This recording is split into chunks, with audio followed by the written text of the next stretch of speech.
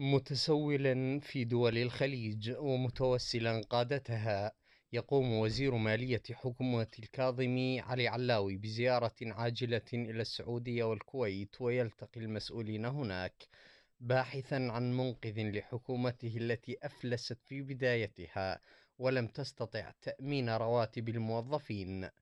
زيارة رافقتها تصريحات للكاظمي حول متانة العلاقات بين السعودية والعراق. تصلح للاستهلاك السياسي أكثر مما يدور على أرض الواقع.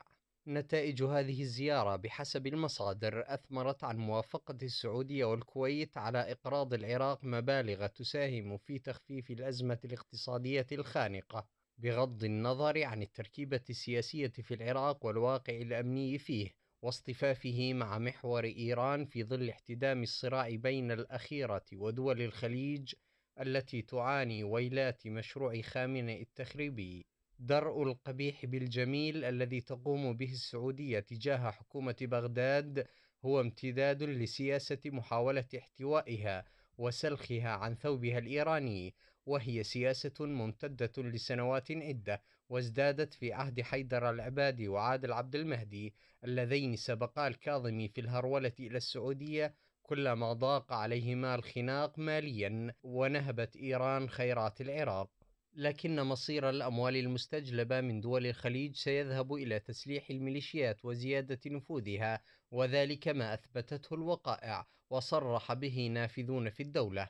فهذا نائب رئيس الوزراء الأسبق بهاء الأعرجي يذكر ميليشيات الحشد بأن رواتب عناصرها تأتي من دول تعتبرها عدوها الأول.